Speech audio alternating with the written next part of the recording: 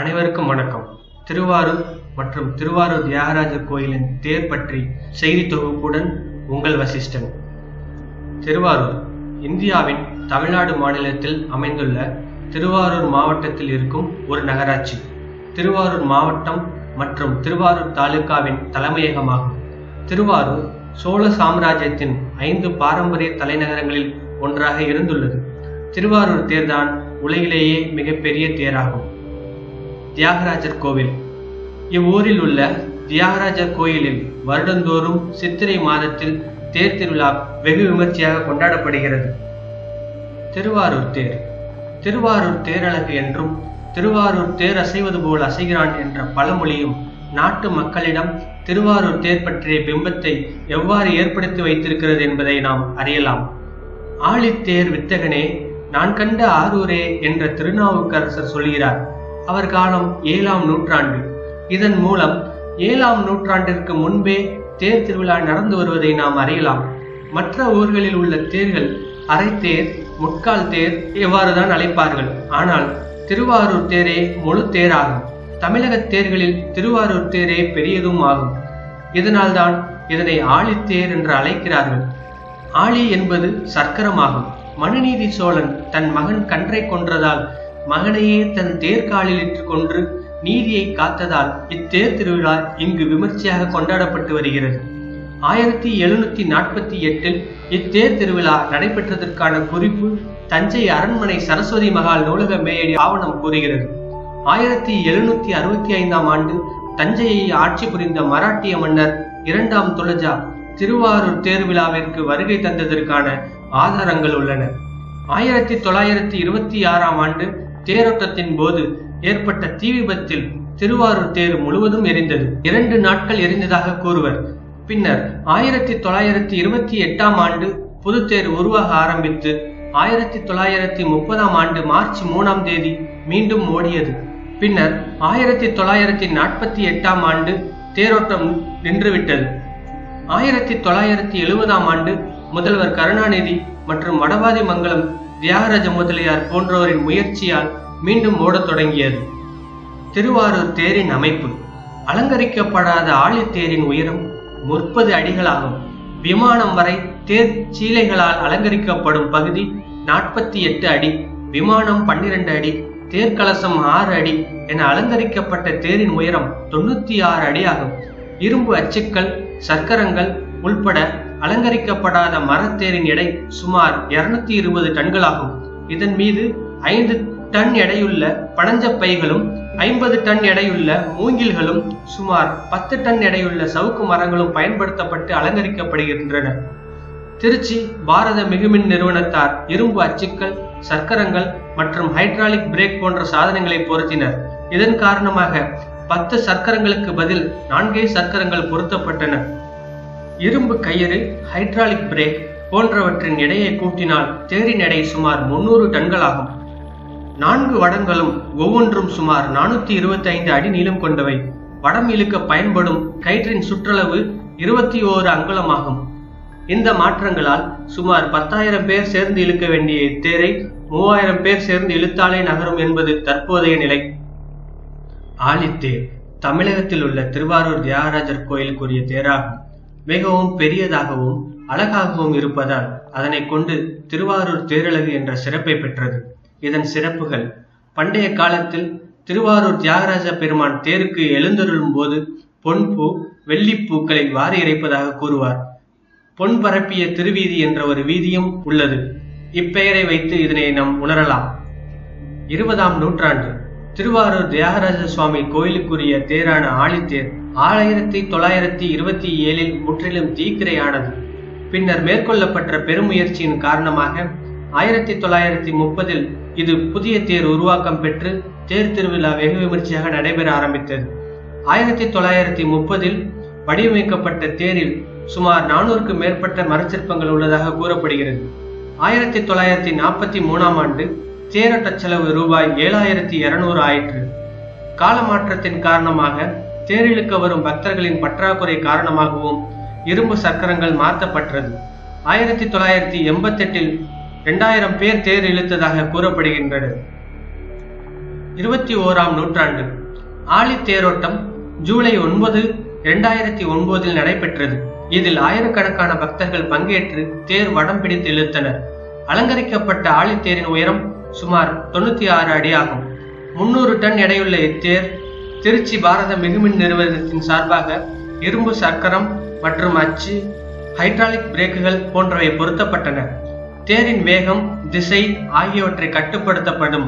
முன்புறம் நான்கு வடங்கள் பக்தர்கள் இழுக்க பின்புறம் இரு சக்கரங்களையும் இரு புல்டோசர்கள் தள்ளி கொண்டு சென்றது. அடுத்த தேர் திருவிழா ஜூலை பதினாறு இரண்டாயிரத்தி பத்தில் நடைபெற்றது. பின்னர் தேர் பழுதடைந்ததால் பின்வந்த ஆண்டுகளில் தேரோட்டம் நடைபெறவில்லை. தற்போது இத்தேர் புதுப்பிக்கப்பட்டு புது பொலிவுடன் வடம் பிடித்து பக்தர்களால் இழுக்கப்படுகிறது.